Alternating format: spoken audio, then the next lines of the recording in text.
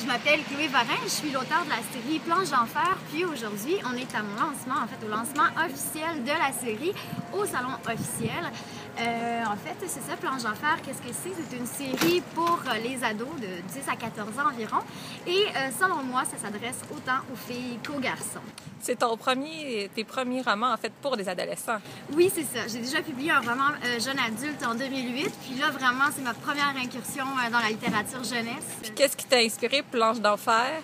Euh, ben, en fait, c'était l'idée de mon éditeur Michel Brûlé de faire une série sur les sports extrêmes, le skate, le snowboard, etc. Puis je trouvais tout de suite d'emblée, j'ai trouvé que c'était une excellente idée parce que justement, euh, en fait, il n'existe pas de série, euh, en disant à ma connaissance, sur les sports extrêmes, sur le snow et le, skate.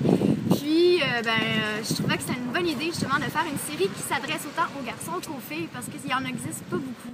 Toi, c'est quelque chose qui te rejoint, les planches, le snow, c'est quelque chose que tu connais? Oui, bien surtout, euh, je dirais à l'adolescence, euh, j'étais super fascinée par ce, monde-là. Euh, je faisais un peu de skate, je faisais du snow. J'étais vraiment pas une professionnelle comme mes personnages, mais c'est toujours un domaine qui m'a toujours très, très intéressée. Donc, puis on disait que c'est autant filles que garçons, en fait, dans Planche d'enfer. Il y a différents personnages. C'est autant du côté très féminin que très masculin. C'est ce que j'ai essayé de faire, en tout cas?